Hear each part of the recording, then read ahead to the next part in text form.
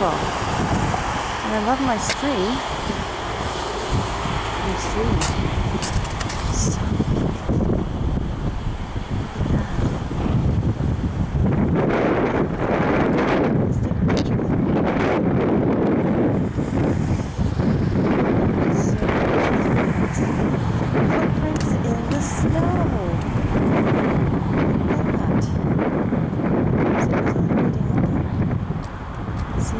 So beautiful.